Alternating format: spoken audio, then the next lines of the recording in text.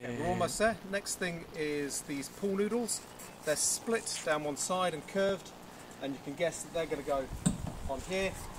It's largely decorative, uh, but I put them on just in case people tend to whack their hands down, but it doesn't generally happen. And you just fit them on around like that. And grab another one. There's no right and wrong way of where to put them. Just put them round. It will fit on eventually. That's it.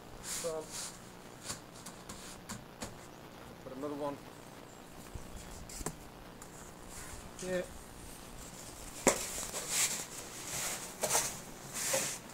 That up. Should do. And there's a little bit left there and we have a very short piece which should fit in there. It's almost the same colour as well. There you go. So they're then on. These tend to come off during use. They just need pushing back on. It's easy. And it also provides a bit of a cushion for this to fall back up.